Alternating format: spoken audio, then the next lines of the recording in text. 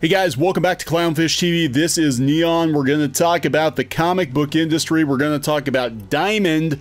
We're going to talk about some news regarding Diamond Comic Distributors Inc. that they are announcing furloughs. This shouldn't surprise anybody. Diamond is closing up shop for now. Uh, whether or not they come back online remains to be seen. We're going to talk about that. We're going to talk about you know what this means for comic shops. Uh, that now even the mainstream media is noticing that uh, comic shops are in in serious trouble. then we're going to talk about small press and some of the options that people are coming up with now. And uh, you know, it's it's sad because we've seen the writing on the wall for quite some time in the comic book industry. I mean, at least five or ten years the writing has been on the wall. Diamond being a monopoly has been a huge problem. You know, people were sounding the warning bells, and and just publishers would not listen. They wouldn't listen. Um, they kept assuming everything was going to go along as it had for decades, and uh, here we are. I mean, granted, nobody could have foreseen, uh, you know, the virus uh, speeding up the inevitable, but it is just that it was inevitable that if Diamond fell, the comic book industry follows behind it, or at least the direct market uh, follows closely behind. So Newsarama put this out yesterday. We already knew about it because a friend of ours actually works at Diamond. Not going to say who they are, but they were posting on Facebook that they were going to be laid off. And uh, here we are. Diamond announces furloughs to combat the coronavirus impact. Geppi Family Enterprises, the parent company of Diamond Comic Distributors, announced Monday it is furloughing some employees as a means to protect our company's financial future and preserve jobs. Obviously, not the jobs of the people who got furloughed. Beginning Monday, all impacted workers currently enrolled in the company health benefit plan will continue to receive coverage with Geppi Family Enterprises paying 100% of the premium during the furlough. Okay, at least they're doing that. Uh, this is very similar to what Disney's doing, where they're actually paying benefits. And a furlough, again, means that there's a chance that they'll be called back, but you know, maybe they'll downsize, maybe they'll restructure. Maybe Diamond won't be calling people back. I mean, is Diamond sustainable? If all the comic shops go out of business, or a good chunk of them, is it really a sustainable business model? And you got to look at this way too. Diamond became a monopoly because it's not a very lucrative business to be in. If it was lucrative to sell comics directly to the 2,000 comic shops or less than 2,000 comic shops that are left in the country, other people would totally jump on it. And they haven't because there's not enough money in it to make it worth their their time. Uh, Diamond suspended receiving new products for distribution as of April 1st and initially suspended payments to its vendors, but shortly after announced a weekly 25% payment schedule with 75% deferred payments to follow. Yeah, they basically told the vendors, uh, "This is what you're getting. Deal with it." And again, you know, Diamond can do that because they're a monopoly. If you tried to do that with uh, any kind of a bank loan you had or credit card, chances are your lender would tell you to go pound sand, right? Um, so here's a full statement. As you know, COVID 19 is having a dramatic impact on businesses around the globe, and unfortunately, Diamond is no exception because the comic book industry was already weakened. As a result, we have made the difficult decision to furlough some employees. This was not a decision we made lightly, and we only do so to protect our company's financial future and preserve jobs. We have taken several steps already to mitigate our financial exposure, including delaying payment to publishers, extending vendor payment terms, and significantly reducing executive compensation. Basically, we stopped paying our bills. We stopped paying our bills, and that's how we're going to get through this. It is our goal that on the other side of the crisis, our furloughed employees will return to their roles. It is our goal. Doesn't mean they're going to do it doesn't mean that on the other side of this, uh, there will be jobs available. It means that they're hoping, hoping that will happen. The furlough period begins on April 13th, and all impacted workers currently enrolled in one of the group's health, vision, or dental insurance plans will maintain coverage. Well, there's that. Uh, during the furlough period, we will pay 100% of the cost of the premium. While the furlough is in effect, a number of individuals will continue working in business critical roles and in preparation for Chapter 11. I mean, in preparation for when we're able to resume distribution of new product someday. We're going to talk about that. For our retail partners, Reorders of in stock Diamond products can still be ordered for direct shipments via Diamond's retailer services website. Please continue to consult our coronavirus updates page for an ongoing list of resources. Um, blah, blah, blah. As a company, and in industry. We will navigate what lies ahead, and we are committed to emerging and thriving on the other side of the crisis. We look forward to the day when we're able to be together again and resume the weekly distribution of new product. That is a very hopeful message, and you know what? Uh, people are telling Diamond uh, to go pound sand. Some publishers are already coming up with a workaround, and Marvel and DC may decide to break their uh, exclusivity contract as I understand it, because of this, because they got to get new stuff out. So, Rich Johnston over at Bleeding Cool has a version of the article, but the comments are interesting. The comments are really interesting because everybody is pushing for digital. They're all pushing for digital. The big two either goes digital or they break their exclusivity clauses with Diamond.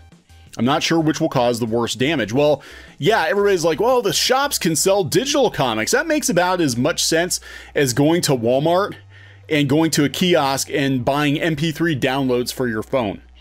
Why the hell would anybody go to the trouble? You know, it doesn't make sense. Uh, the big two will have to go digital. I suspect they're just trying to figure out how they're going to break it to the comic shops. You know what? Disney and Warner Brothers will make it really damn easy.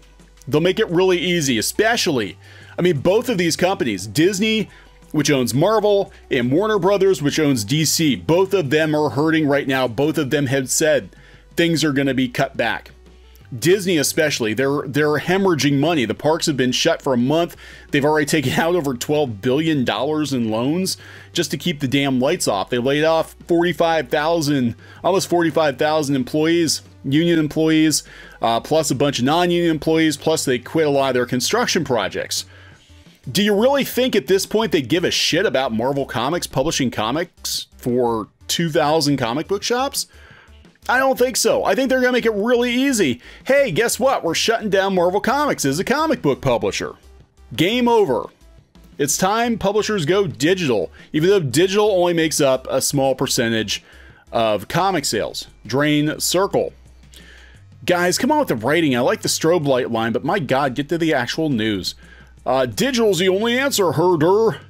How possible is print on demand? Very. Could printers local to comic shops be mailed the files and print what's been ordered? Okay, here's here's the elephant in the room.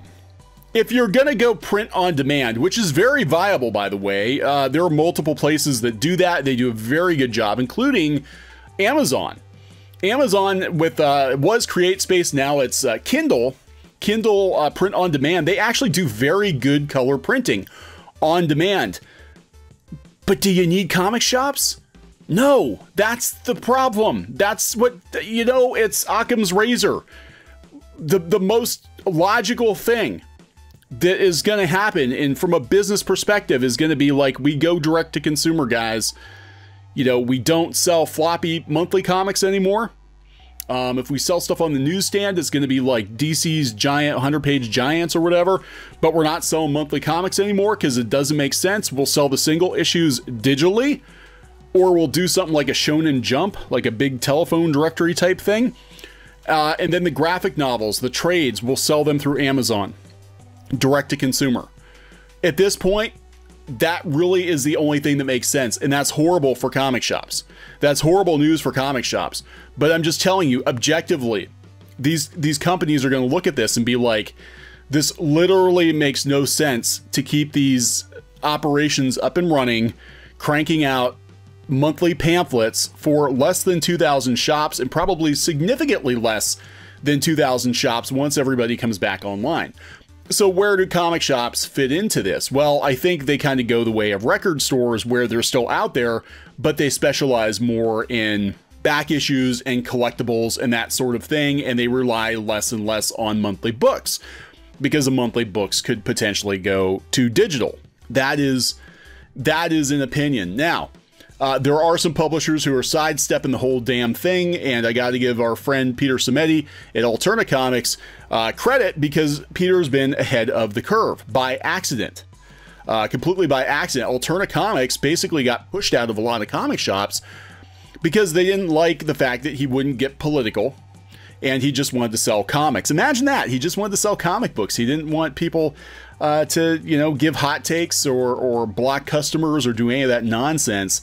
And he's actually been very creative getting comics into other places. Uh, like I know he was in uh, uh, convenience stores. Remember comics in convenience stores? I remember that. That's when I first started reading comics. I'd pick them up at the 7-Eleven, pick them up at the newsstand. I used to buy a ton of Marvel books every week. They were 75 cents a buck uh, when I first started reading comics, and you know I could buy pretty much everything Marvel put out every month you know, on my my lawn mowing earnings. And uh, Alterna has kind of rolled things back a little bit, and they're doing newsprint comics, uh, selling them for under two bucks each, and getting them into places that traditionally haven't carried comics because they're too damn much money. And uh, Marvel and DC basically gave up on the newsstand years ago, and that's worked out so well because here we are. Here we are. Anyway, they're not going to use Diamond anymore. If I'm reading this correctly, because Diamond is not going to uh, release any new product until August at the earliest. So they're can they've canceled all their solicitations with them. Um, they're going to be selling direct to readers and retailers for the foreseeable future. Do you even need Diamond? I think what's going to happen is a lot of publishers, the smart ones, are going to be like, you know what?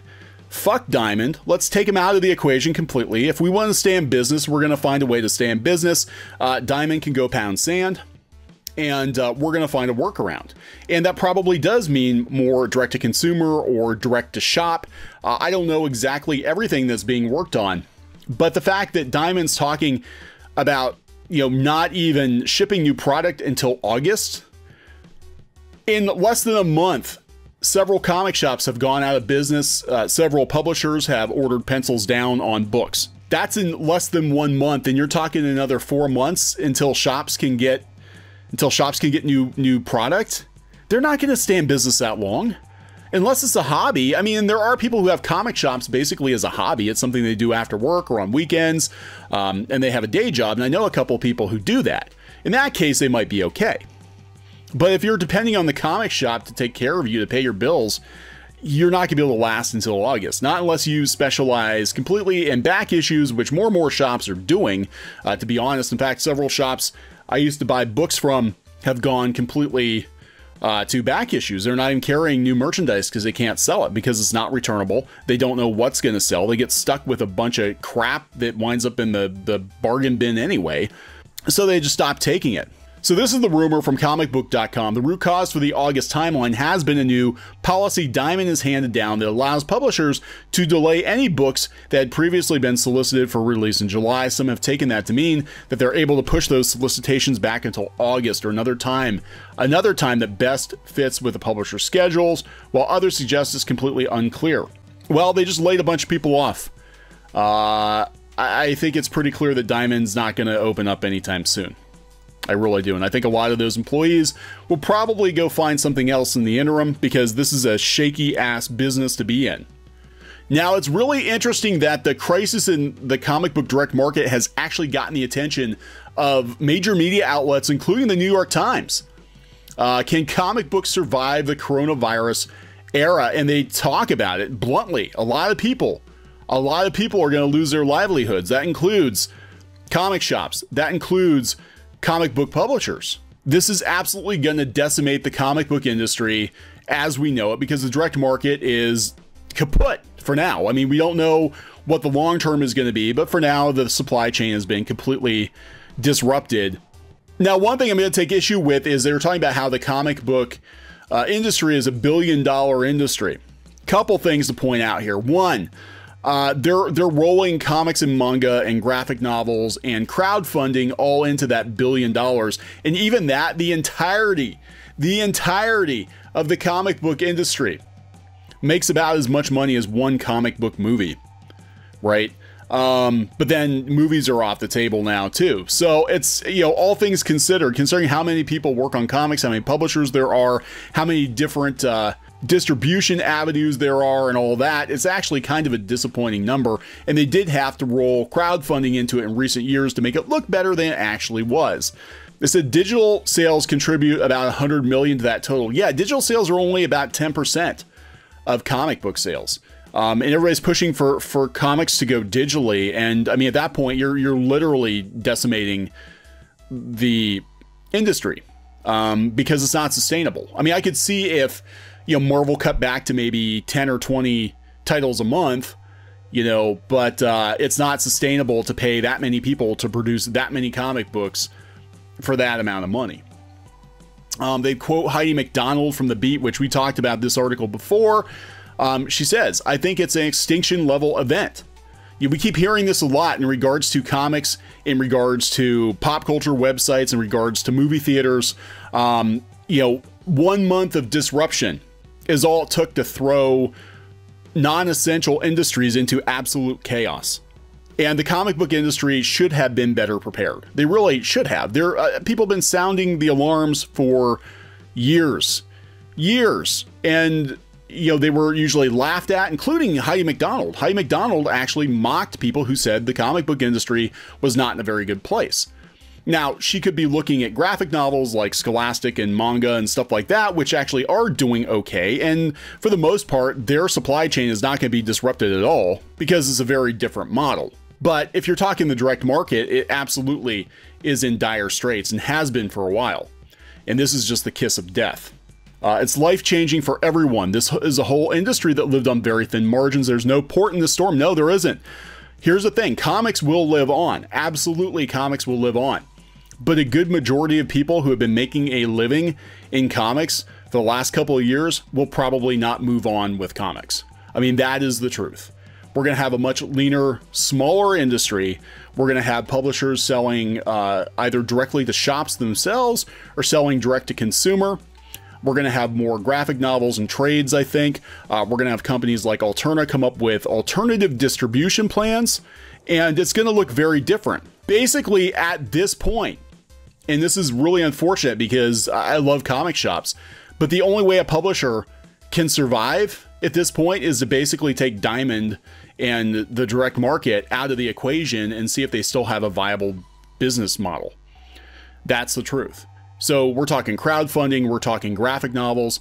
Um, you want to talk about print on demand? I'll talk about that for a second because we've actually used it before and it's pretty brilliant. In fact, Warner Brothers is using that for a lot of uh, kind of niche DVDs right now where they offer older titles that maybe uh, it doesn't make a lot of sense for them to mass produce a lot of a certain series, but they'll actually print the DVDs on demand through Amazon and mail it to you. We've we've purchased DVDs like that before. Uh, same with books. If you want to trade paperback, I mean they can do it uh, print on demand, but they're very expensive compared to having them printed someplace. Uh, but the advantage of Amazon, at least when um, we did our own books at one point in time, we actually did publish a couple volumes of our webcomic and we used Amazon for distribution. Um, the first couple we actually did print on demand, and then we did you know a couple of print runs, and we just sent the books to Amazon, and Amazon took care of the shipping direct to consumer. It was very very easy. Uh, and I can see more publishers doing that because everybody buys from Amazon. And again, does this help comic book shops? No, it doesn't. And that is the problem because we are looking at uh, an extinction level event for comic book shops because in the new economy going forward, frankly, uh, comic book shops don't make a lot of sense other than back issues and uh, other other stuff that maybe you know if you want a window shop, uh, you want to buy kind of niche collectibles and that sort of thing, but uh, it just doesn't make a lot of sense. You know, I mean, we have been looking at this for a while. We're like, okay, we want to get back into publishing comics, and we've been biding our time but I gotta look at this like, does it even make sense to go through Diamond at all? And clearly it didn't. And we've thought this for a number of years, and now we're seeing why it doesn't make a lot of sense. So, you know, we got to think about that too. If we decide to, to do some other projects, like how are we going to sell these things? And, uh, you know, comic shops, unfortunately, are just not part of the equation um, for us. So I don't know. You know, they're talking to some some freelancers out there. They're basically like, well, we're not feeling it yet no, because they have their budget set aside. And if you're working for Marvel or DC, they probably have their budget set aside for the quarter.